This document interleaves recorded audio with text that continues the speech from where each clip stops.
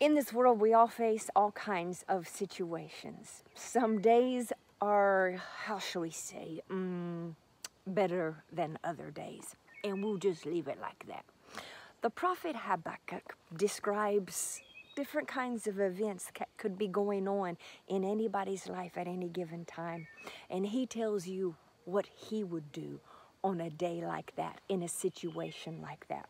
Here he says in Habakkuk chapter 3, verse 17, even though the fig trees have no blossoms, and there are no grapes on the vines, even though the olive crop fails, and the fields lie barren and empty, even though the flocks die in the fields, and the barns are empty, yet I will rejoice in the Lord.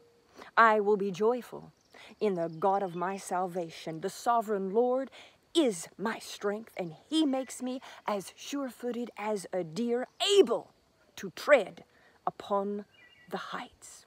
So you see, no matter what the situation is, no matter how things didn't work out or didn't go as planned, it wasn't as successful as you thought it would be, it wasn't as prosperous as you thought it would be, things just didn't quite come together the way that you anticipated that they would, the way that you had hoped, the way that you desired. Sometimes it even just could fall apart and it seemed like the end of the world and all is lost. What are you going to do about it? What will you do with yourself in that kind of situation? And how will you regard your God? The way that you look at yourself and the way that you look at your God, see, that kind of works together there. If you keep your vision of God correct, then that will keep your vision of yourself correct. And you can say, yeah, it looks bad. Our barns are falling down empty. Things aren't coming together. We're not producing like we thought. But I know who my God is. He's my strength. I know what He does. He makes me able.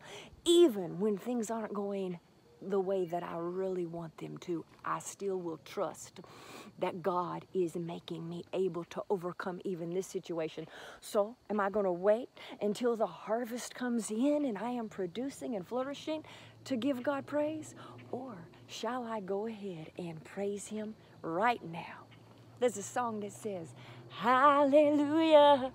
Anyhow, never, never let your troubles get you down. Whenever problems come your way, you just hold your head up high and say, Hallelujah. Anyhow.